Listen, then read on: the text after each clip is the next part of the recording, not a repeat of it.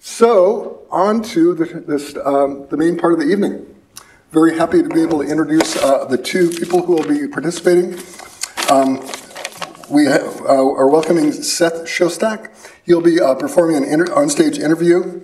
Uh, Seth is the senior astronomer and fellow at the SETI Institute in Mountain View. He's conducted radio astronomy research on galaxies for much of his career, he's written over 500 articles and web stories on topics in astronomy, technology, film, and television.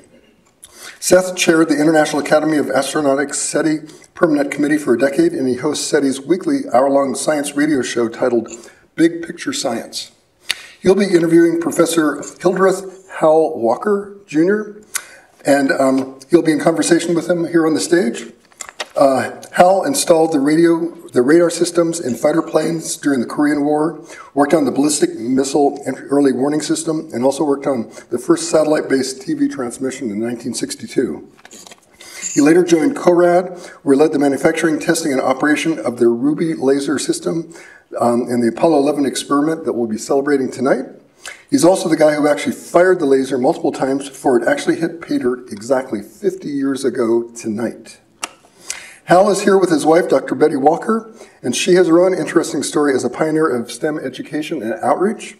She's, uh, she's with us here in the front row and have a feeling that Hal just might talk about her during part of the, our conversation. So let's welcome Seth and Hal to the stage.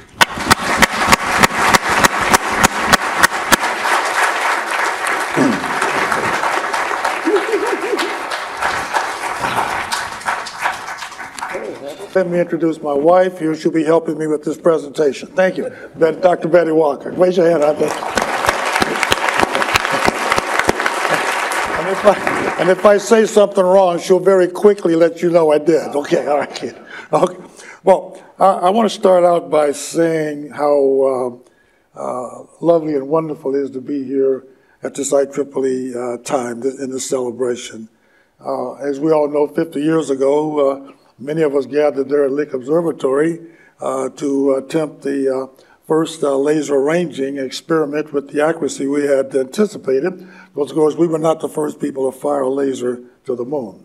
Uh, many uh, other uh, research institutes had fired lasers previously, and of course, that light was very random reflections and so forth, so the accuracy of that was suspect. Now, what we wanted to do, of course, with my life, I want to start by saying my involvement started out as a young young man, young boy. Uh, I, I, grew up in the uh, South. Uh, I was born, for I think for everybody's uh, information or milestone, I was born in 1933 in New Orleans, Louisiana. So, of course, uh, in those years, uh, things like lasers or going to the moon were not even a, a topic. But there was Buck Rogers. I started reading Buck Rogers magazines as soon as I could count to 10. okay. But here's what happened that was so important in my career. My dad, when I was eight years old, uh, of course, we might remember many of us back in the day, Daisy air rifles were quite popular. So, of course, when I got old enough to get a, a rifle, I, uh, some type of a weapon, I asked my dad for a Daisy uh, pump uh, rifle. And of course, I was all excited about that. He said, Yeah. But then when I went to him to get the, the gift, it was in a brown bag about yay big. Today they would probably call it cocaine, but it was about that, something like that. So I reached, I, I was very disappointed. I mean, to have a, to have a Daisy BB gun was, you were like the top guy on the block. I reached in and pulled it out. It was a Buck Rogers ray gun. And I've always mentioned this when I talk about my life story that you have to be very careful what you put in a child's hand. Because when I pulled the trigger, there wasn't BBs coming out, it was little sparks. And I always want to say I followed those sparks all my life. And it took me to Apollo 11 with the biggest laser in the world at that time. the, the type of laser that um, we were operating there, and I always want to mention this because we were using a weapons grade laser. I want to say that very quietly weapons grade laser. Uh, because in those days, if you mentioned something like that, uh, uh, people got excited. uh, because again, the beam and the ray was uh, sort of like, a, how, how, much damage can you do with a thing like this? So of course, my friend, uh, the inventor of the laser, Ted Maiman, we all got to be friends, is working at Korad Lasers in 19, early 1960s. Uh, Ted, when asked uh, about this problem of the laser, uh, said, well, look, the, la the laser is a solution looking for a problem. Well, of course, his uh, management at Hughes Aircraft Company's research labs thought this was a wonderful idea, the laser. Let's go down and take a look at it, Ted. So when they went down to the lab and laser, and Ted finally went, what, what are we going to do with that? So, of course, Ted got very uh, ticked off, make a long story short, and uh, uh retired from Hughes Aircraft Company. Started his own company called Korad lasers. And for all of you all here tonight that have read that word in, the, in the, some of the write-ups you've seen, you probably want to know what Korad means. It means coherent radiation. Okay, yeah, okay, that's what that is. So any, anytime in the future, you'll be an expert now on Korad. But that company started to um, bring together just talented individuals from across the spectrum, electronics, physics, uh, you name it, cooling systems, so forth and so on. And our first job, of course, was to start to get involved in scientific research programs with a small laser that did about one joule. This laser was pumped with 5,000 joules of an input, Ruby pulse laser, 6943 angstrom output. And of course, this was used quite extensively around the country. My role at that time at Korad was I was the field operations manager for Korad and also ran the manufacturing department for Korad's laser manufacturing. Because again, we felt that the person that knew how to build it should go operate it, because at that time, no one was really that familiar with it, because most of our researchers were guys that stood around scratching their heads about what was wrong. So the guys that built these things got to be the experts. I was known at one time, I guess we've probably been roughly around, uh, I'd say uh, 67 or so, I'd probably fired more laser shots than anybody on the, on the planet. Because again, my, I fired lasers every day all day. That was one of, that was my job. Now, that all leads me, that leads us again to why I was one of the guys that ended up at Lick Observatory. No one in the world had fired more laser shots than me, and maybe some guys could have tried to know about them. But at that time, that was my reputation. I won't go to what they call me, but anyway, yeah, that was one of the things I took credit for. But again, the laser uh, at Lick very quickly was a K1500. You've heard us describe it and, re- and read about it. It was a multi-stage device uh, using uh, synthetic ruby crystals. It was a two-stage unit that an oscillator had developed about one joule or so on the output of that. And of course, it had an amplifier that had a 10-inch half-inch crystal inside the amplifier. We pumped that section with 25,000 joules. Now you might say, why were we putting that much power input to a laser that could only get out about 12 joules? Well, Ruby was one of the most inefficient mediums that was around in those days. That's why we had to go to YAG and neodymium later on in years. But again, uh, we brought that type of a laser here to Lick, and prior to that, I was mentioned earlier, was a weaponized system. We, were, we developed it for Kirtland Air Force Base using some of their uh, research there. I'm sure you know what I mean. But uh, once the uh, mission to the moon was uh, developed by some very nice guys, one of them sitting right here in the front row, raise your hand, Joe. and, and, and, Dr. Faller, who's not here with us tonight, I understand he's overseas. But uh, I always say to my audience when I speak that other people came up with the idea to do this. I was busy doing a lot of other things. And of course, uh, when, the, I, when the suggestion was made that we would use a laser to uh, do a ranging experiment. Now, who else would they ask but me to come and do it for them? So I said, great, I'll do that for you. So we, I pulled together a team, and we built three lasers over the, over the past, leading up to Apollo 11. Three lasers were built, primarily for doing one from Haleakala, uh, classified work, which I'll describe was basically blinding Soviet uh, uh, satellites. that was interesting. We had a lot of fun doing that until they figured out how to stop it. But anyway, that was another story. But when, when it came time to go to the moon, we said, well, wait a minute. Joe and the guy said, wait a minute, if the, if the laser reflector is put down in a certain place and maybe dust and other things get on it, so forth and so on, all these problems may come up. We got to try to find this thing. So, of course, uh, we scratched our heads and talked about it and chose to use this K1500 as the acquisition laser. And I want to make one thing sort of to everybody's knowledge. Our job at Lick Observatory was just to find the reflector. We were on a search mission.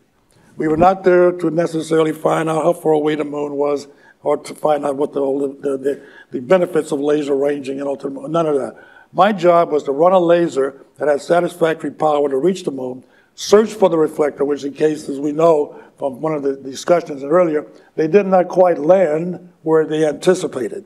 Now, we had characterized the surface area around the Hopi Sea of Tranquility, that that base where the base would happen for some weeks leading up to it. So when the laser, when uh, Neil Armstrong started, took control, I was sitting there watching him on screen. I said, "Oh my goodness, look what he's doing! He's flying away somewhere. Where'd he go?" so, so I, said, well, oh, let's start looking for him. And of course, that was our next mission. Now, go and actually find where the reflector was located. In the meantime, I had a second laser we had built at Korad that was being, uh, I think we'll, saw it, we'll see it in a film uh, in, a, in a slide later it was a much more powerful laser than the one I had, but its purpose was it could develop more pulses per minute than we could. We could only fire one shot per minute. One gigawatt, 12 joules, 10 nanoseconds was the pulse length. And so therefore to us, that was about the extreme of what we could produce. However, the lasers we built at McDonald were able to run at much higher repetition rates and so forth. So that was my colleague uh, they're operating that laser, Jim Myers. And I want to mention his name tonight because many of these gentlemen that were working very extensively in this program are now deceased. It's been a long time. I just thank God that I'm, I'm still here to talk about it a little bit. But uh, Irv Weiner, again, uh, as many of us know it, here at Lick, was a very prime uh, participant in that, in that uh, activity there. We want to mention him. He's deceased now. And of course, Jim Myers was operating the laser at McDonald Observatory. And of course, another colleague of mine, Bill Rundle, was operating a laser from Haleakala that was in a classified state that I, I don't necessarily talk that much about. But that was kind of what made up the American presence for the Operation Lure uh, in 1969. Okay. Sort of an introduction. Terrific. Yes. All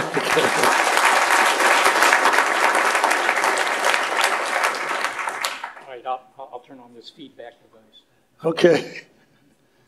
All right, well, we have plenty of time here, so I'm going to go through some of these questions here that uh, Brian asked, but, you know, maybe for historical purposes, with what accuracy, when you finally got around to measuring the distance of that corner reflector on the moon, uh, you know, to begin with, you're not going to get a whole lot of photons back, even with your, your, your 12 joule laser. How many photons would you get back Well, typically I, in I think we were talking, or looking for like three to five. Three to five, Five okay. or six, you know, something like that, four, maybe four, yeah, three. Four, say four.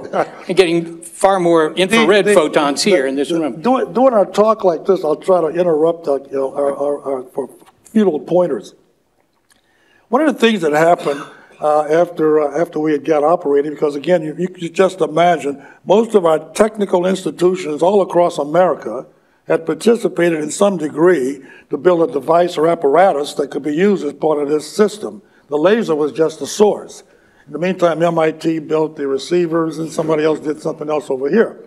So, uh, we unfortunately damaged the MIT receiver after about couple of days, and of course, uh, uh-oh, now what do we gotta do?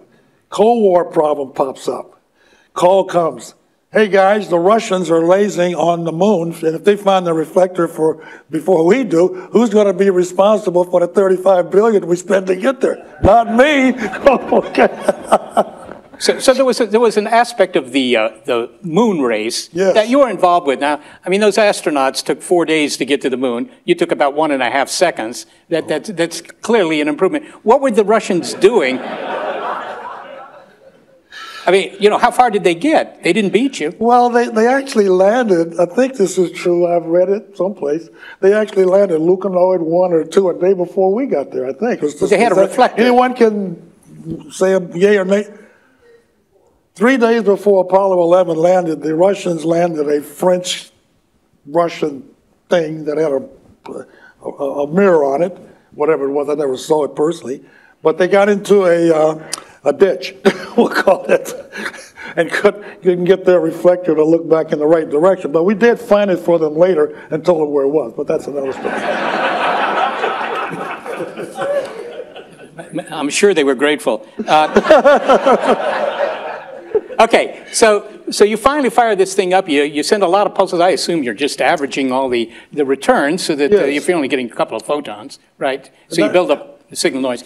Uh, Now, you know, the distance to the moon, I mean, that was a project that interested the Greeks about 1,200 years ago, and they did it too, but without lasers, uh, they couldn't afford them. And they, but they did measure them, you know, just the curvature of the shadows Oh, during yeah. eclipses and so on.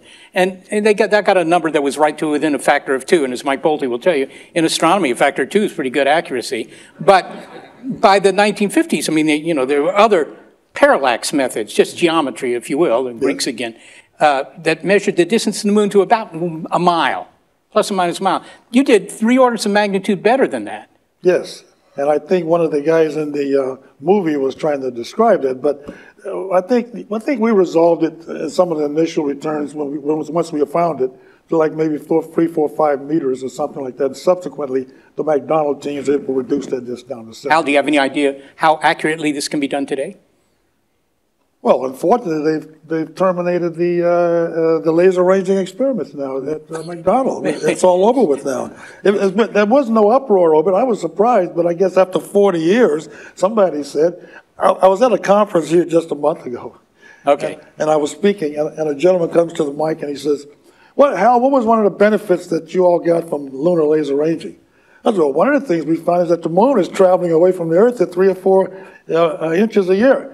He said, "That ain't very much." I said, "Well, what would it, what would it be like when it was coming toward us?"